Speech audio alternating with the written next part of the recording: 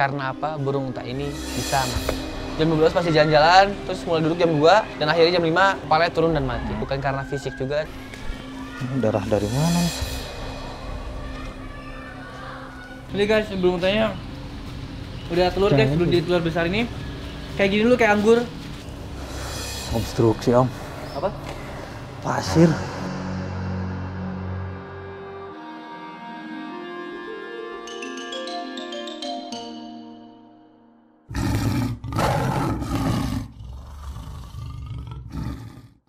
Oke, halo teman-teman semua. Apa kabar? Semoga kalian semua selalu dalam keadaan sehat ya. Oke guys, jadi konten kali ini gue berkabung. Lagi sedih banget karena ada salah satu satwa gue yang mati. Ada anggota Bandung Wildlife Park yang mati hari ini. Dan jujur aja, gue masih belum tahu kenapa satwa ini bisa mati ya. Jadi sekarang gue sama tim di sini mau melakukan otopsi dulu dan juga akan mengumpulkan bukti-bukti dari CCTV ya untuk dipelajari dan cari tahu diinvestigasi lebih dalam lagi kenapa binatang ini bisa mati ya. Namanya satwa liar namanya binatang mau hidup bisa mati benar tapi kita harus tahu kenapa ini bisa mati karena bukan urusan umur ini masih muda. Kita harus tahu lebih lanjut kenapa binatang ini bisa mati. Jadi bisa dipelajari biar nggak terjadi dua kali ya guys. Oke jadi kita langsung aja ke TKP Cuman guys, gua terpukul banget hal ini terjadi karena harusnya hal-hal kayak gini nggak terjadi guys. Kalau bagi gue binatang mati itu diwajarkan ketika urusan umur. Walaupun sakit dan faktor lain juga bisa menyebabkan binatang itu mati. Cuman kalau gue karena ekspektasi tinggi jadi harusnya ini nggak mati karena faktor lain ya, hanya untuk umur. Mati karena umur. Tapi ini berbeda. Kita lihat di sini burung unta yang mati satu guys. Ada burung unta betina mati satu. Tadi gua cek CCTV jam 5 matinya dan gua observasi dari jam 12 malamnya dia masih jalan-jalan biasa terus jam jam 2-an jam 2 subuh dia duduk duduk terus biasa kayak burung unta istirahat dan jam 5 mati. Ya kalian bisa lihat di sini.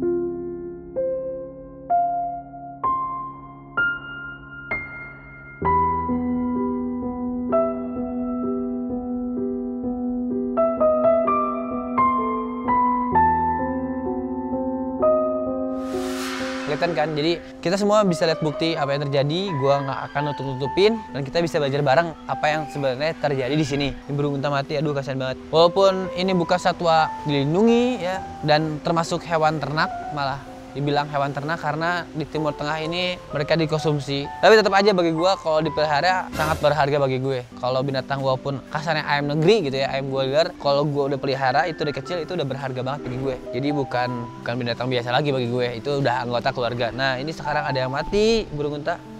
Tuh, duh kasihan banget kepalanya di bawah gitu ya. Iyalah mati burung unta kepala di bawah. Tahun jam 5 dan sekarang kita tanya apa dulu.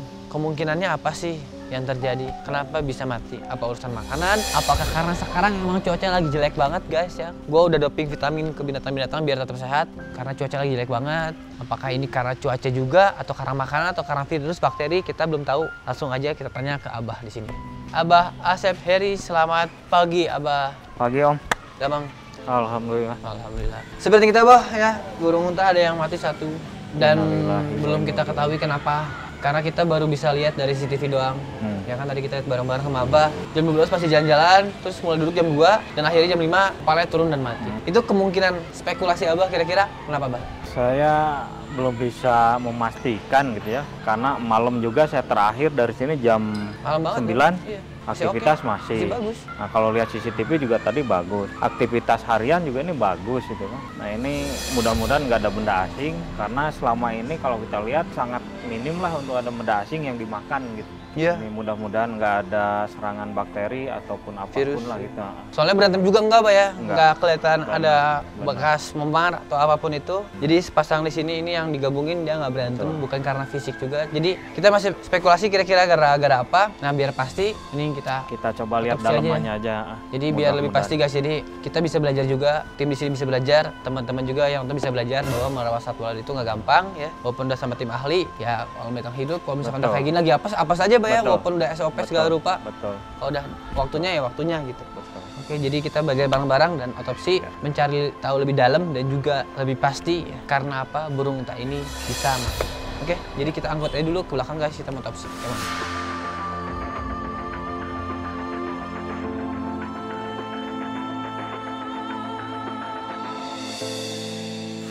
guys, sekarang kita pakai masker semua karena seperti yang kita tahu ya kalau burung unta itu carrier anthrax. Jadi semua burung unta itu membawa anthrax itu virus bah atau apa?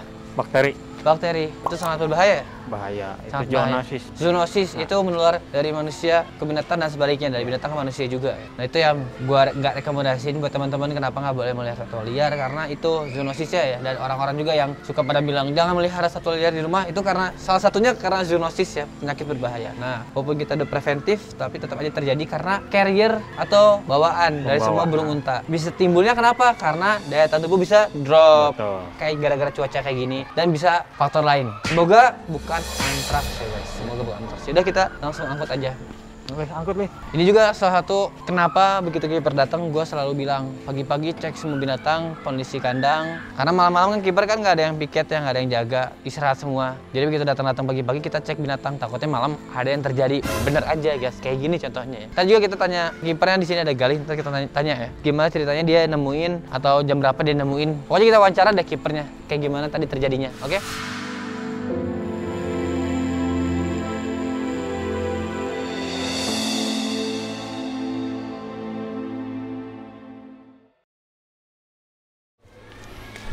Ini darah dari mana nih? Nih guys tuh. Udah darah-darah. Hmm, dibobot. Wah. Tuh pakai masker kalau nggak lebih parah.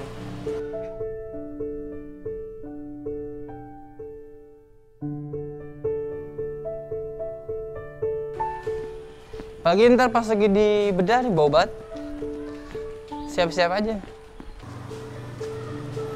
Jamur, euy.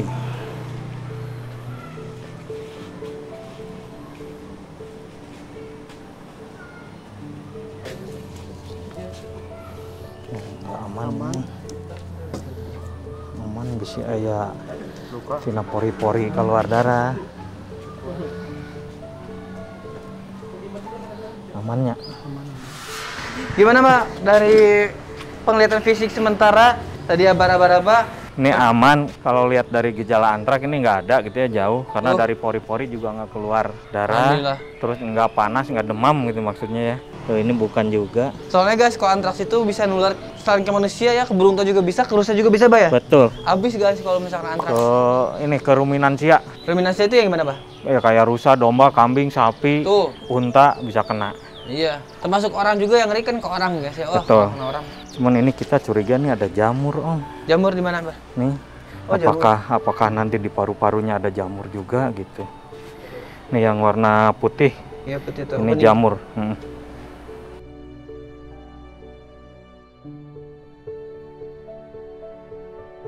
Jamur. Tuh, Hmm. bakteri. Jamur tuh berarti gara-gara lembab atau gimana, Bah? bisa lembab, bisa sisa pakan, bisa pakan yang memang sudah ada jamurnya. Susah kalau gitu karena lembab lagi hujan terus. Tuh, Nih, misalkan pakan nih guys, dimakan. Oke, makan burung unta nih. Udah gitu, beres makan kita sapu masih ada sisa-sisa atau enggak dari daun yang jatuh, dia keinjak-injak, Hmm. dia makan, ini bisa jadi jamur. Susah itu, Betul, Bang. betul. Susah. Walaupun dulu bukan dari pakan nih, udah kita bersihin pagi-pagi. Siang-siang misalkan ada daun jatuh nih, daunnya nggak tahu jamur nggak tahu enggak. Ya. Atau enggak yang bersih lah, katakan daun bersih. Terus jatuh ke tanah, keinjak-injak, terus ntar sama dia kemakan lagi, jadi jamur juga. dan kita juga kan di sini banyak burung-burung liar ya. Nah, sering oh itu, itu mampir. juga itu ya salah satu Salah satu apa ya? bagi kita ancaman atau nggak hama Hmm, nggak Faktor ya. Faktor, nggak hama sih. Faktor sama ancaman. Betul. suatu ancaman burung gereja ya Kita kan nggak tahu burung gereja yang sakit masuk sini Nah. ikut makan, itu nularin penyakit. Nah itu juga pup dari burung gereja juga Iya, bisa. betul. Itu susah dikendalikan guys. Dari pup, dari air liurnya gitu kan bisa bisa jadi penularan. Nah itu kalau untuk unggas di sini. Kalau untuk harimau kucing liar guys, Kucing jangan sampai liar, bisa masuk betul. ke rumah ini. Bukan gua jahat atau gimana ke kucing liar ya. Bukan gua nggak mau ngurus. Di sini ada harimau masalahnya jadi takut tertular. Tapi kalau misalkan gua ada rumah yang gak ada binatangnya, nggak apa-apa kucing liar masuk mau senang-senang aja kasih makan. Tapi kalau di sini kan takut nular ke harimau, bahaya banget. Gua juga kalau megang harus pakai sarung tangan guys, jadi di sini aja. Soalnya takut nular ke binatang lain. Habis ini kan gua ke dalam nih, keliling-keliling nih, takutnya bawa penyakit nular. Tuh, kasihan banget gua rawat dari kecil yang gedenya mati matinya sama kemungkinan sama hal yang susah dikontrol guys cek juga berat badannya buat ngetahuin ini underweight nggak? Sama biar teman-teman juga tahu ya berat burung tadi berapa.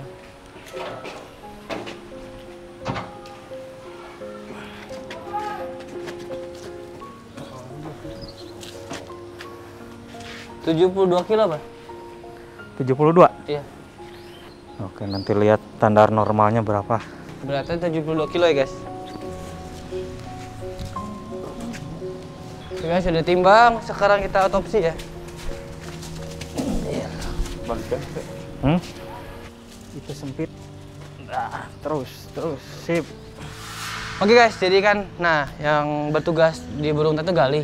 Jadi gimana nih tadi ceritain pagi-pagi lihat burung unta udah mati atau gimana? Ya, tadi pas. Ya kan kebetulan nginep di sini. Jadi otomatis pas biasanya ke depan kan. Dan kemarin uh, Gali nge-backup dulu yang Palo pas lagi sakit. Jadi kemarin Jadi sempat hari- kemarin Pak Palo tuh sakit, sempat sakit lama guys. Jadi harimau di backup bareng-bareng. Jadi ya Gali langsung masuk ke kandang aja dulu. Nge-backup dulu yang Palo kan dari belakang dulu semuanya hewan yang Gali pegang juga di belakang. Nah, baru udah selesai di sana, baru Gali ke depan. Nah, pas lagi ke sini ya emang terador Gali sih gitu ya. Enggak signifikan apa ngelihat itunya cuma selewat doang. Hmm. Soalnya kan emang waktunya gitu bos Ya jadi ketahuannya berapa burung unta mati? setengah sembilan kalau nggak salah. Oh, 9. Jadi harusnya gali itu begitu pagi-pagi sudah mulai waktu jam kerja harusnya seperti yang gue bilang beberapa kali harusnya cek dulu semua kondisi satwa. Nah gali ini enggak nggak lihat fokus malah nggak ketahuan ada burung utama mati. Nah ini lalainya gali nggak nggak ikutin SOP ya. Gue nanyanya bukan ke gali itu bukan nanya kenapa burung utama mati nggak sampai situ tapi kenapa ketahuannya telat. Malah ketahuannya sama asing sama ibe ya tadi pagi. Asing sama Fadil. Eh, sama Fadil pagi-pagi. Malah bukan sama kiper itu hal yang nggak boleh terjadi sama Gali. Harusnya SOP dilakuin fokus nggak boleh lengah. Walaupun kemarin burung unta sehat tadi mau sehat pagi-pagi bisa mati. Jangan gitu guys. Gua aja waktu dulu ya jam setengah 12 sebelum jumatan gue berangkat binatang masih sehat. Pulang jumatan setengah satu udah ada yang mati satu. Itu rusak mati. Pas dicek karena gerak kembung gitu. Jadi nggak ada nggak ada kata-kata. Kemarin masih sehat tadi pagi masih sehat. Itu harus selalu dicek binatang bisa mati kapan pun yang gak kita tebak. Jadi gali nextnya SOP harus lebih ketat lagi. Jangan sampai kelewat kayak gitu. Jadi emang udah mati guys? Sebenarnya udah mati jam 5 udah mati. Cuman gue pengen nilai aja kiper bisa ketahuan gak secepat mungkin kalau ada yang mati gitu. Kalau misalkan mati aja telat ketahuannya pagi sakit gitu. Jadi kan ngerti kan Gali harus gimana gitu. Jadi ke depannya pembelajaran buat Gali buat kita juga nih kiper harus tetap fokus konsentrasi jangan kelewatan.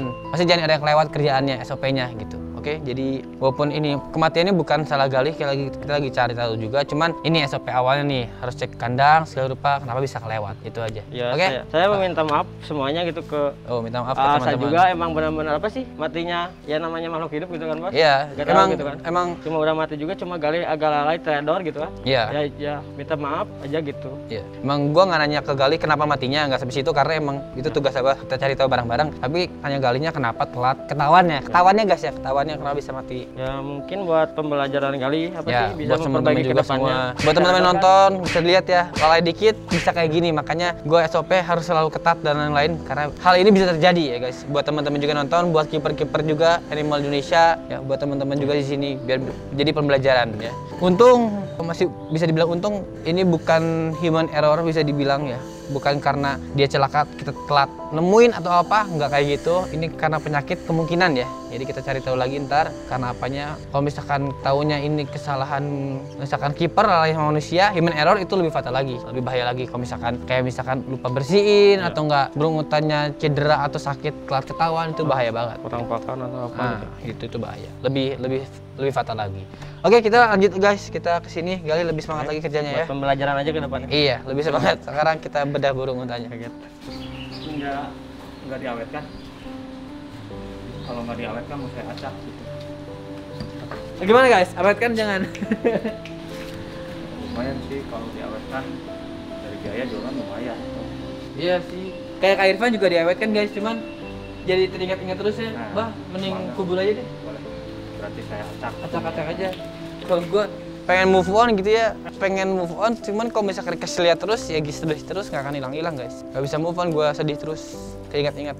Sebenarnya bisa untuk edukasi juga sih di sini ya untuk di tempat masing-masing ya Kak Irfan. Edukasi nih kerangka burung unta kayak gini. Di sini juga bisa nih kerangka burung unta kayak gini gitu. Bisa untuk edukasi juga buat teman-teman datang kan. Cuman diawetkannya itu aja bah kayaknya. Tengkoraknya aja bisa nggak sih? Tulangnya aja. tulangnya aja.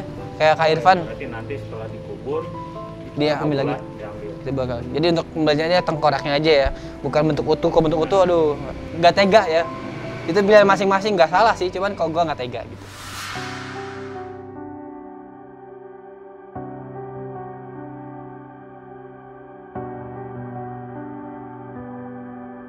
Tahu mbak? Telur. Telur? Ini guys, sebelum tanya udah telur guys, belum di telur besar ini kayak gini dulu kayak anggur. Ntar besar, keluar, besar, keluar gitu Pak ya. Iya. Tuh kayak gitu guys. Edukasi juga untuk biologi ya. Di buat-buat itu tuh dihitung nih berapa puluh nih? iya, Sangat banyak. jadi bukan bukan tumor ya. Bukan. Jadi itu telur, Telur ini. ntar Telur. jadi gede satu keluar, jadi gede satu keluar gitu Pak ya. Iya. Tuh. Tuh telur guys. Uh, masih hangat. Eh, asli pak. Oh ya, Iya hangat. kita harusnya siap untuk berkembang biak untuk lagi tuh Pak ya. Iya benar. Belum ketahuan Pak ya. Belum. Ini ini apa bagian apa Pak? Ini lambung. Lambung.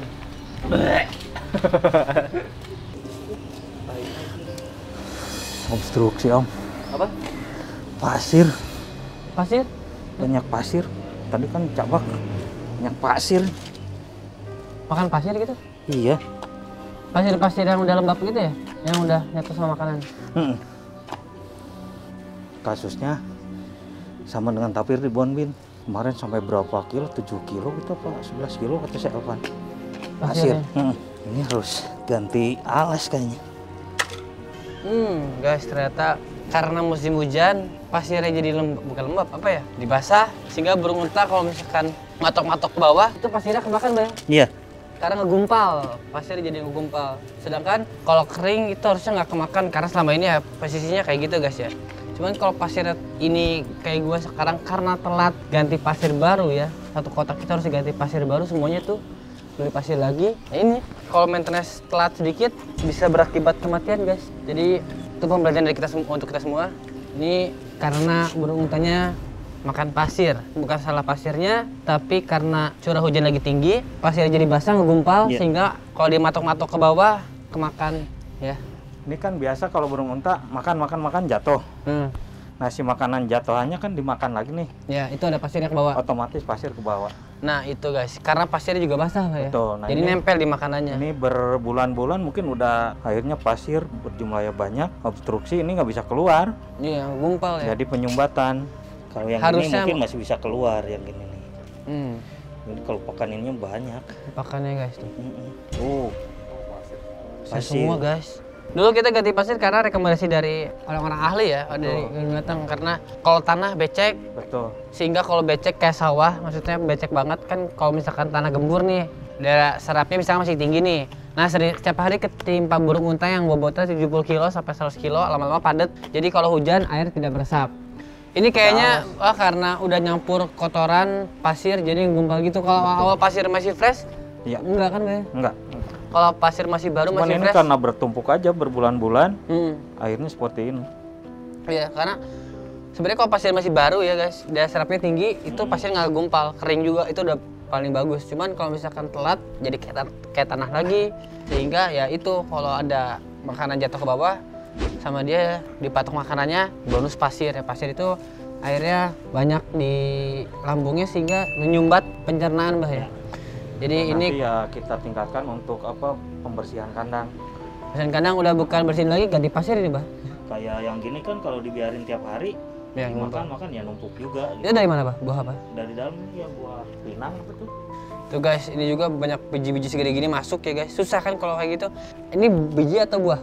Ini buah. Nih ada buah jatuh satu harus diambil, ada buah jatuh satu harus diambil kan lumayan PR juga itulah guys tantangan dan kesulitannya tapi kita harus harus bisa mengatasi guys. Itulah sulitnya burung unta dari dulu gue bilang apa aja dimakan susah banget. Yang kayak Elvan juga dulu kasusnya makan gembok makan apa? Gembok makan benda asing. di Inggris itu kan rantai. dia makan organik aja masih bisa mati bah ya. Betul.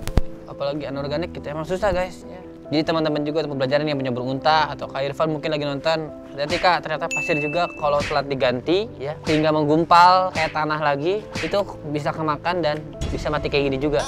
Nah kalau gue bikin vlog gini sharing ke teman-teman, gue harap mereka tidak mengalami hal yang sama guys. Itulah bu, uh, butuhnya sharing ke teman-teman dan juga edukasi konten gini biar yang nonton tahu oh sebelum gue terlambat nih permukaannya tanahnya atau pasirnya harus cepat diganti ya sampai menggumpal sampai burung untanya mati. Jadi cukup di gue aja jangan sampai terjadi lagi di gue ataupun di orang lain ya guys gitu. Jadi oke okay, sampai sini aja kontennya guys. Thank you nonton. Ini pembelajaran buat kalian semua ya. Ini kasarnya karena gue telat ganti pasir yang baru sehingga pasir sekarang jelek udah kayak tanah ngegumpal kayak di sawah sehingga kalau ada makanan jatuh nggak mungkin burung unta makanannya pelan pelan dan nggak tumpah ke mana-mana nggak mungkin banget susah. Burung unta makannya barbar. Matok-matok gitu sehingga ada yang makanan yang ke mana-mana termasuk ke tanah juga atau ke pasir juga atau ke permukaan juga. Nah dia ambil Nah pas diambil itu udah ada pasir yang nempel di makanannya sehingga kemakan sehingga tertumpuk di lambungnya, di pencernaannya dan tersumbat akhirnya mati guys. Itu pembelajaran kita semua. Jangan lagi terjadi di gua ataupun di orang lain ya. Buat teman-teman nonton juga atau mungkin ada pihak binatang nonton atau nggak mungkin ada penangkar juga nonton atau nggak ada penghobi yang nonton juga. Jadi pembelajaran kita bersama ya. Jangan sampai terjadi lagi. Kandang cepat dibersihin ya. Jangan sampai ada barang asing ya walaupun ini sampai ada buah kecil juga dari pohon itu susah. Berarti burung time harus open terbuka banget. Jangan sampai ada buah jatuh yang segede gini-gini. Susah banget guys emang merawat merawatnya itu karena semua dimakan ya. Oke guys, thank you nonton guys ya. Jangan lupa di like, comment, subscribe dan share dalam bentuk mendukung channel ini. Jadi uh, eh, gue bikin konten ini agar kematian burung tua gue gak sia-sia untuk jadi pembelajaran kita semua agar tidak terulang atau terjadi lagi guys. By the way ini kaos esan tinggal dua lagi stoknya cepat diserbu guys jadi gitu habis. Oke yang selen yang hoodie yang E sudah habis tuh guys. Jadi stoknya menipis cepat-cepat dia dapat. Oke okay, thank you nonton. Thank you udah support gue. Tolong doakan. Semoga beruntung ini ditempatkan tempat yang terbaik. Ya kalau gue mendatang ada yang mati pasti gue doain juga thank you guys udah nonton. See you next video. Bye bye